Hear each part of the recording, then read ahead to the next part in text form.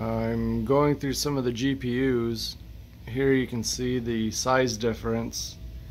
These are 3070s, 3070, 3070, 1660 Super. You can see how long those are. That's why those won't, the back two won't fit in the new 6U mining case. Uh, this one might barely. You can see it's about a inch shorter. So I'll test that, but then I also got to go for the the height. This one's really thick. This is my 3090. It's smaller than the 3070. It's quite thick. This one's a little bit thinner. Not quite as long. I think these were 3060s. I don't remember. They don't even say on them. But the single fan 1660 Super, I think when Ethereum was around, it was mining at like 50 watts. I know it was under 60 because it was like two 1660 Supers did the same hash power as one 3070 but at less power. That's why I was buying tons of 1660 Supers. And I have, I think, 24 more in the back room. There's a couple single fans down here.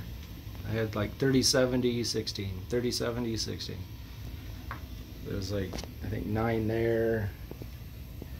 There's nine 3070s, more 3070s, more 3070s. At one point, this whole wall was full of 3070s. Oh, 16s on top, 3070s on the side, and then two rows of three to the KVM switch, and then going to a monitor. And then I had a shelf here and back here, but now it's the roommate storage. So I need to get six of these. I'm sure I have them somewhere back here. I know there's two that are running now. I think there's a couple here that'll work. Uh, those are too thick. I think there's a couple down here that'll work. GeForce, GeForce, GeForce, GeForce. One, two, three, four. Five, six. Yeah, I think I got enough. And then I can test that other rig. And then I'll get uh, 12 of these, put them in two rigs. And I think these are the TIs.